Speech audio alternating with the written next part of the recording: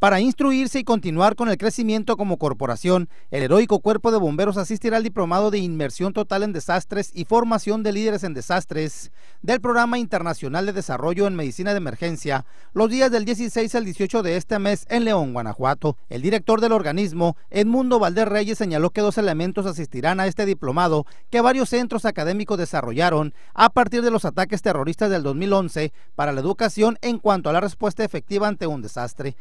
Que este es un curso nacionalmente reconocido que toma en cuenta todos los peligros para que los profesionales de la salud puedan dar una respuesta coordinada ante los incidentes de este tipo. Se manejarán dinámicas durante un taller intensivo de dos días en el que se capacitará a los bomberos en descontaminación de la víctima con habilidades específicas durante siniestros masivos, con la información de la tecnología y los sistemas vigentes, contemplando todos los peligros e incidentes masivos posibles. Edmundo Valdés expresó que este es un paso más en cuanto al crecimiento de los elementos de la corporación, siempre con el objetivo de contar con las mejores técnicas y herramientas para proteger a la ciudadanía en caso de emergencias. Con imágenes y edición de Manuel Bracamontes para las noticias, Marco Antonio Palma.